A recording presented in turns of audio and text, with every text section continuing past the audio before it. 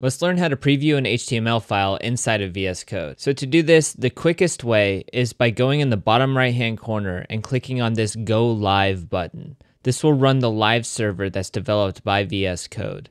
Now another way that you can do this is actually opening up the command palette by hitting Control Shift P and then typing live server. From here, you can now open with live server, change live server workspace, or stop the live server. Here, I'll open with live server. Now, what this did is it started a server for us that is loading this HTML. And if we make any changes to this HTML and then save them, they're automatically updated with our live reload functionality. But as you can see here, the actual preview isn't in the editor at all. It's actually in my browser. And that's not as convenient as it might be if I just have it in the editor. You can see this is kind of clunky because now the left side of my screen is all that I have to work with and the right side of my screen is just filled with my browser window. So we can actually make this better. First, I'm going to stop my live server by clicking on the button again and it automatically stops it. Then I'm going to go to extensions and type in live preview. From here, there's an extension called live preview that is hosted by Microsoft. From here, if I hit install, it will install my live preview, and then I can go over here to this new button called show preview. When I click this, it also starts that live server that we talked about earlier. It just starts it on a port 3000. You can see now that this is actually in the editor and we can resize this however we want. We don't have to wait on the OS to be able to resize however the operating system wants to resize the windows. And from here, the live reload actually works even better. It works as I'm typing. So I can just type anything in here and it shows up on that right panel. You can see in the bottom right, I actually have two processes that I can run. One is running the live preview and one can be running the live server. If we open up the command palette with control shift P and then type live preview,